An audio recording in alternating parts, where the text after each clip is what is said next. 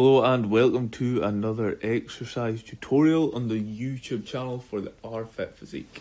Here we have another dumbbell curl variation, this time we have the dumbbell hammer curl. You'll see that the big difference in this is that there is no twist as we move up. Our hands stay in that neutral grip, um, but everything else remains the same. We go through a full range of motion, fully lengthening the bicep, extending the elbow, and we also don't have to come too far up at the top to lose tension.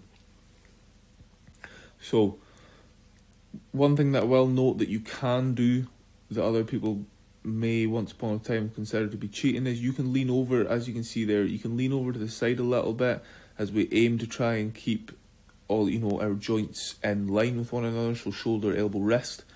Um, it's easier to keep them in line if we lean over ever so slightly.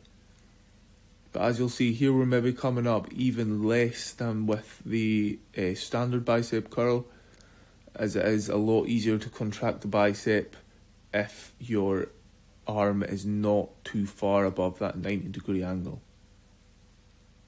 Get a squeeze at that top shortened position.